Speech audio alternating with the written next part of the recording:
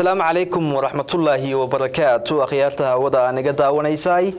Kusoo dhowaada barnaamijkeenii googooska oo hadahan oo kale uga barateen inaad ka daawataan shaashada tv-ga caalamiga ee star t v.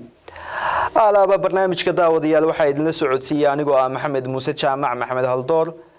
Maanta barnaamijka waxaan idinku hayaa waraysi aan magaalada hargeysa kula yeeshay gudoomiyaha ururka hiil naafo axmed maxamed cilmi oo ah urur isu taagay taakulaynta iyo waxtarka dadka naafada ee soomaalida meel kastay joogaan. Waraysigaasina waxa u dhacay daawadayaal sida tan. Kusoo dhawaada waraysi gaar ah oo aan la yeelan doono gudoomiyaha ururka hiil naafo axmed maxamed cilmi. Axmed waxa uu ka soo kici magaalada ows ee wadanka denmark hadda waxa uu ku sugan yahay magaalada hargeysa oon waraysiga kula yeelan doono anigoo ah maxamed muuse jaamac maxamed haldoor ku soo dhawow axmed barnaamijka. Waa mahadsantahay maxamed magaalada hargeysa sida ku soo dhawow aad baad u mahadsantahay waan ku dhawahay. Ugu horeyn haddii aan ku weydiiyo waa kuma axmed maxamed cilmi. Bismi illaahi raxmaan raxiim aad baad u mahadsan tahay maxamed muuse jaamac haldoor marka horeysa waan ku salaamayaa. Farxad bay ii tahay inaan adiga iyo meeshaad degan tahay iyo tiimkan maaragtay reer hargeysa ee dhallinyarada ah aan la kulmo. Waan ka mahad celinayaa siday ii soo dhoweeyeen waanu ku farxsanay inaan hargeysa imaado oon weligay imanin waa markii iigu horreysay. Laakiin in badan baan niyadda ka jeclaa inaan imaado. Axmed maxamed cilmi waa kuma haddaan ka jawaabo. Axmed maxamed cilmi horta waa ninkaas odayga ah ee kursiga ku fadhiya. Muddo soddon sano ku dhow baan naafa ahay oon wiljeerkaa ku fadhiyaa waxaan ku dhashay anigu eriyada dhulka la yidhaahdo waamo inaad maqashay in kale mooyeen. Kismaayo eriyadeedaan ku dhashay ku soo barbaaray wax ku bartay ku soo koray intayda badan. Alxamdulilah dee labada nololoodba waxbaan ka soo maray oon ka garanayaa. Marka duruufta naafanimaduna waxay igu maaragtay ku dambaysay inaan noqdo qof u ololeeya arrimaha dadka naafada ah. Oo ay kow ka tahay naftayda marka horeysa inaan ololahaas gala waxaa igu bilaabday ani naftayda inaan u ololeeyo marka horeysa. Kadibna aan dee u sii gudbo wixii kale aan qaban karo waan gartay su'aasha intaan ku weydiinayaa waxa weeye waxaad guddoomiye ka tahay ururka hiil naafo oo isu taagay waxtarka iyo taakulaynta dadka naafada ah ee soomaaliyeed. Meel kastay joogaan aasaaskii ururka haddaad iyadan inoo gasho. Aad baad umahadsantahay maxamed. Haddaan soo koobo aasaaska ururka horta anigu markii kun iyo sagaal boqol iyo siddeetan iyo sideedii lix iyo labaatankii disembar maalin jamca waxay ahayd maalmada ciiddii christmaska? Xilliga anigu waxaan u jiray u anoo fasaxa baan waxaan ka tegay magaalada beledweyne gobolka hiiraan. Waxaan tegay dhuusamareeb baan u aaday fasax laba maalmooda oo markaa ciidda masiixigu waa maalinka iyo baa shaqooyinka laga nastaa. Anigoo markaa u tegay dhuusamareeb fasaxaas labada maalmood ee nasashada markaan soo noqonayay ayuu ila gudoomay baabuurku baabuuran anigu waday oo united national hayn baa ila gadoomay markaa kabacdi muddo dheer oo adigu ilaa saddex iyo toban biloodaan dhakhtar ku jiray. Rajo fara badan iyo tacaal fara badan iyo familka iyagoo igu dee markaa hay'addaan u shaqaynaya xitaalle waa laiga ruqsiyey anoo dhakhtar ku jira. Isbitaal madiina anoo ku jira la ruqseeyey oo shaqadii laiga eriyey aana dee dhakhtar baan ku jira inaan naafar noqon doono cudurro markaa ma ogeyn. Laakiin dee nin lala tacaalaya baan ahaa. Marka wixii markaa ka bilowday sanad kabacdi waxaan aqbalay inaan naafar noqonayo. Nin dhakhtar maxamed jaamac la dhihi jiray oo dhakhaatiirta cudur xanuun yani shilkan marka spinal cord baa la dhahaa af ingiriiska. Yani paralyze baa labada lugood ka noqday. Marka ninkaasa wuxuu ii sheegay inaan inta noloshayda ka dhima naafa ahaan doono.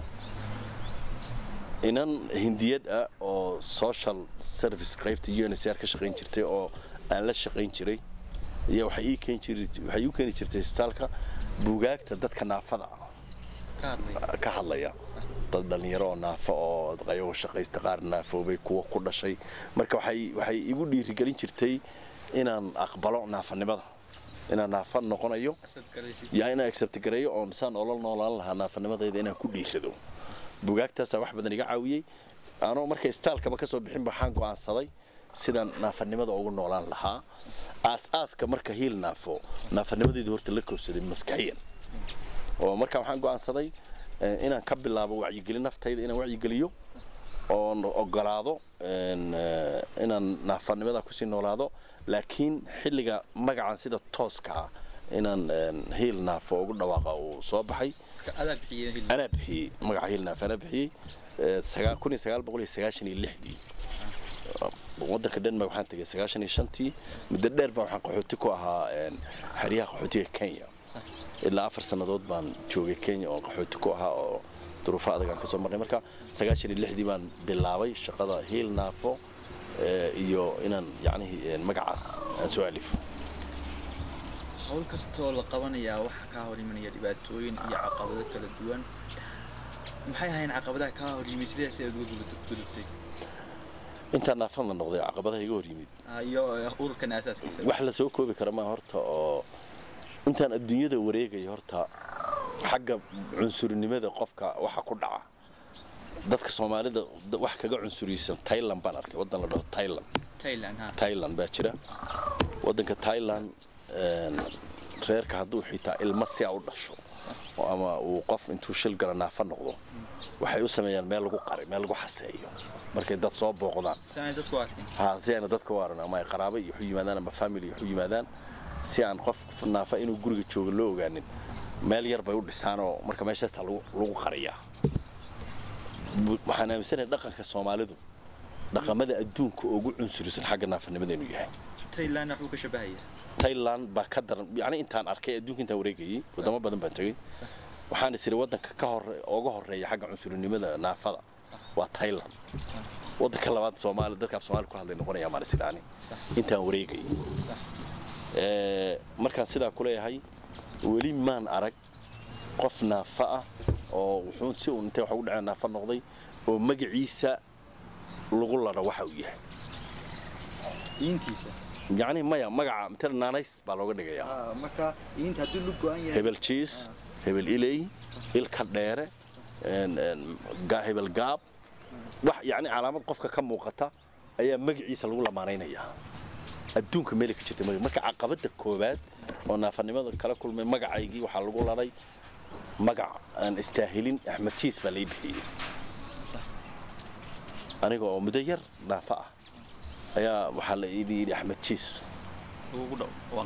yacnihii hooyada iyo aabbahay axmed maxamed axmed axmed nuur bay hooyada ila baxday. Laakiin hadda laima yaqaan axmed jiis baa la ii yaqaana hadda. Marka kow markii koowaad ee axmed jiis la igu yeeray cuqdad baan ka qaaday eraygaas muddo dheer bay igu qaadatay. Hadda waan ku faanaa. Muddo dheer markaan la soo waan la qabsaday. Laakiin markii ugu horreysay axmed jiis magacayga la raaciyey way dhibi jirtay qofka igu yeerana waan aad baan caloosha uga nacbayn jiray. Xitaa diiniyan diinta islaamku ma ogolo qofka wuxuuna raalli kaha in loogu yeero. Marka caqabadaha iga hor yimid waxaa ugu muhiimsanaa in markii u horreysay naafa noqdayba magacaygii la bedelay kabacdina dee aan yacnihi ninkayga dhallinyarada adduunku cusbaaya soo korayey qofka markuu dhallinyaro yahay kor buu u socdaa muddo ilaa soddon sano shan iyo soddon sano. Anigoo yaroo kow iyo labaatan jir markaan naafoobay noloshaydii waxay dadka iga dhigeen hoos inay aaday. Yacni koritaankii waxaa laygala dagaalamay caqliga koritaankii waxaa laygala dagaalamay waxqabadka koritaankii qofka caqligiisa inuuna shaqaysaa waayo waxay aaminsan dadka soomaalidu qofka hadduu naafay inuu waxba qaban karin. Majority naafa yani dadka soomaalida dhan yani laakiin majority ma aaminsano qofka naafada inuu wax abuuri karo wax samayn karo wax baran karo mas'uul noqon karo cid mateli karo ma aaminsano intooda badan. Marka caqabadaha ugu badan ee gala kulmay kuwaas ayaa ka mid ahaa. Ururka hilnaafad gudoomiye u tahay imse xubnadu ka kooban yahay? Wallaahi markaan asaasaynay ururkan afar iyo toban qof baan ahay. iminkan in markaan fikirka anaa lahaa sagaashan iyo lixdii ururkan markaan aasaasayey ee, denmark markaan tegey ee, horta markii horeysa intaan kenya joogayba anugu maadaama dee hay'ado iyo aan wax ka garanayay oo gaal baa ani wax soo baray. Anoo yar baan nin jarmalo henry lii jiray baan yaa wax baray. Oo yacnihii anoo maxaan soo bartay farsamada gacanta iyo baabuur wadida iyo sida gawaarida loo sameeyey waxaasaan soo bartay anigoo marka ee, waxay ii bilaaban yihiin xagga hay'adahoo kale. Baan shilka baabuurka galay. Markaa shilka baabuurka galoo duruuf adagoo qaxootinimo aan galay waxay igu dhalatayba sida hay'ad loo sameeya inaan barto. Xalay bay ahayd baan umarin markaan idinka sheekaynaya iskuul baan ka sameeyey nairobi anoo qaxootiya. Marka denmark markaan tegey waxaan tegey waddan cusub luuqad cusub hawo cusub culture cusub waxaad wada garanaynin oo waxa dee kugu wada gadaaman waxaad aad u fahmaynin. Marka waxaa igu adkaatay shakhsiyan waxaana aad u danaynaya waxbarashada xilliga iyada. Ah waddanku markaad meel aad ku cusub tahay markaad tagtana haddaadan helin cid ku soo gacan qabatay iyo soomaaliduna barkaa iska wada qaxooti bay ahaayeen. Ninka ugu shaqada ugu fiican haysta wuxuu ahaa turjubaan. Inuu dadka cusub u turjumo luuqadda. Marka afar iyo toban dhallinyaro oo isku magaalo degan oo intooda badan cases medical case la dhihi jiray lagu geeyay denmark. Yaan yaan isla raadinay aniga oo iskool dhiganaya ayaan macalimadeeda waxaan weydiiyey dadka anigoo kale ee dhenishka seenu helaa. Urur bay marka magaciisa siisay. Ururka la ururka naafada denmark bay siisay. Ururkii baan member ka noqday ama xubin ka noqday markaan ururka xubin ka noqday ayaan waxaan ka codsaday dadka anigoo kale ama dee ama luga naafa ka ama gacan naafa ka noqdeen meeshan ka imid ka soo jeeda. Sideen ugu samayn karnaa inay isu yimaadaan oo iswaraystaan qof walba gooni bay meel dhibaatada ugu haysataa. Marka waddan cusub aad tagto guri baa lagu siinayaa meel baa lagugu xirayaa. Luuqad ma taqaanid waddankii ma garanaysid saaxiib ma yeelanaysid. Waxaa laga yaaba qofku ugu sokeeya inuu degan yahay shan iyo soddon kilomitr inuu kaa degan yahay. Isuma tegi kartaan. Dadkii baan soo ururiyey marka waxaan urur naafa aynu samaysano ururkii naafadaan sidii ku samaysanay fikirka laakiin qofkii keenay fikirka anigu ahaa saaxiibada way igu taageereen. Muddo dheer oo dee sagaashan iyo lixdii hadda waxaa laga joogaa labaatan sano.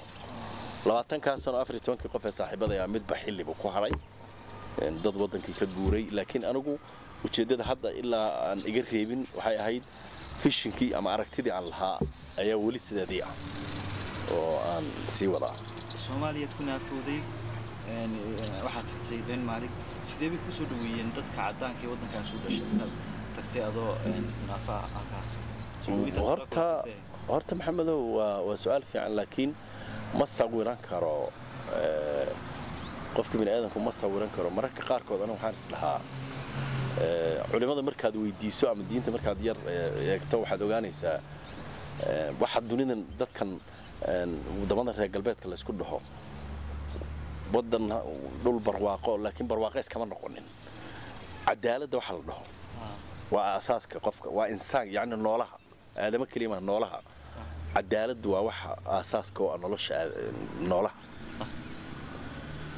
Dadkaas waxay yacnihii ku horumareen oo ilaahayna ku barwaaqeeyey aniga aragtidayda aan qaba diintuna way noo sheegaysaaba. Cadaalad meesha ay ku badato oo cadaalad laga helo barakada waxaa ku bata wanaagaa ku bata. Dhulkaas waxaa weeye markaad aragto qofka bini aadamku uu karaam uu leeyahy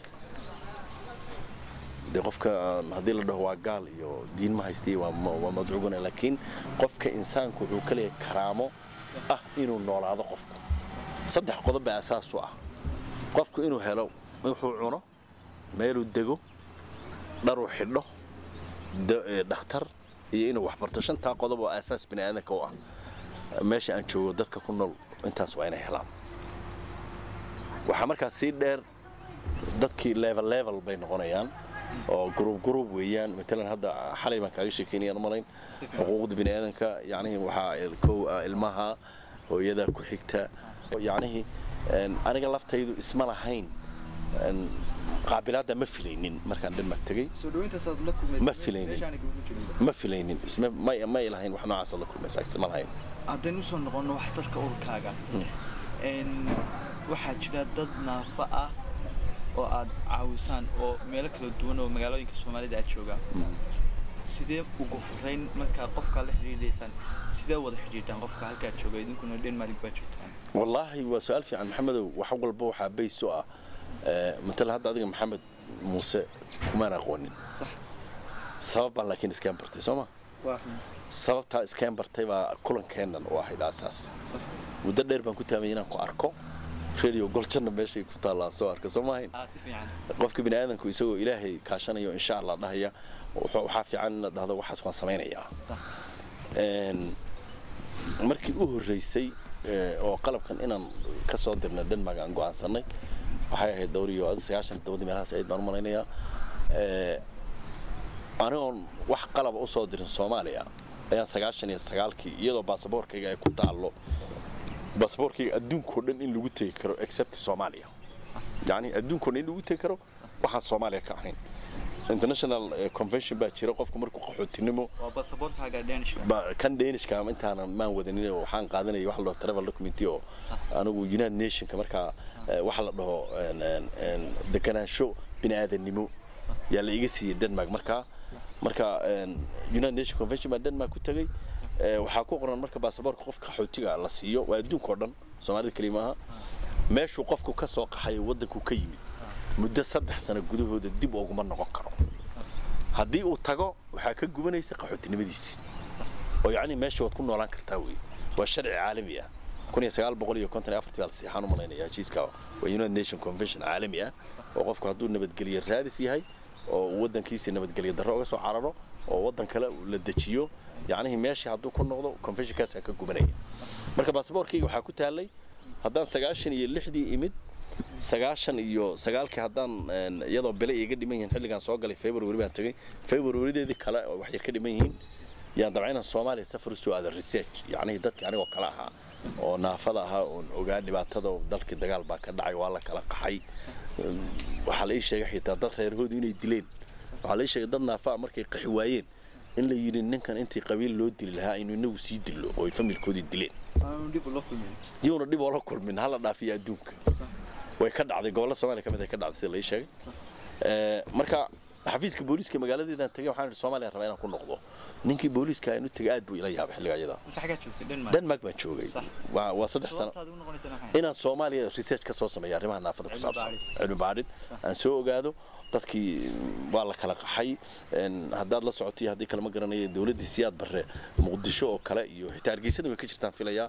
Xarumo waxaa jira naafada lagu xareeyo oo looga qaxay hadda martini oo kale. Ma ma garanaysid adigu? Sorry. mada jirin laakiin taariikhda inaad maqashay baa laga yaabaa. Xarun naafada hargeysa way ku ooli jirtay waan malaynayaa dowladdii siyaad barre haddaan khaldanayn. Soo saas ma? Xamar ilaa saddex meelood baa ku ooli jiraan malaynayaa macadkii dhaqan celinta naafada oon anigu tegey xilligaan markaan soo naafoobay yacnihii dad badan oo aan dhibaatada anigu aan markaa ka badbaadeen ka tegey inaan dib ugu soo guryo noqdo soomaaliya oon ogaado baa ujeeddadaydu ahayd. Waxaan hargeysadan transit baan ku maray xilligaas. Berberaan laba habeen joogay. Burca xitaa diyaaraddu way nala degtay. Boosaasaan ka bilaabay marka researchka rasmiga ahaa. Muqdisho waxaan joogay saddex bilood meel kale oo soomaaliya way ii awoodi weyday access baan waayay diyaarada maan waayay taga. Markaas dib oo aan ugu noqday denmark baa haddana hal sano ka bacdi. Ama hal saniya hal saniya badh ka bacdin hayd baan maray. Ayaan qalabkii u horreeyey u soo diray muqdisho oo ay wheelchairs ku jiraan dawooyin ku jiraan. Marka sababtaa u soo noqonaya waxay ahayd qofka anigoo kale ah ee naafada ee jooga soomaaliya een heli karin kursi uu bannaanka ku aado ama mas'uuliga ku aado sidaan u gacan qaban lahayn in aan soo ogaado. Waana ku guulaysan alxamdulilah akhyaarta hawada naga daawanaysaay waxaad daawateen qaybtii koowaad ee waraysiga aan la yeeshay gudoomiyaha ururka hiil naafo axmed maxamed cilmi. Waxaan idiin ballan qaadayaa inaad daawan doontaan qaybta labaad uguna dambaysa ee waraysiga aan la yeeshay gudoomiyaha ururka hiil naafo axmed maxamed cilmi. Waa anigoo ah maxamed muuse jaamac iyo dhinaca editika iyo farsamada maxamed amiin dhammaantiiyo dhammaantiin waxaan kaga tegaynaa asalaamu calaykum waraxmatullaahi wabarakaatu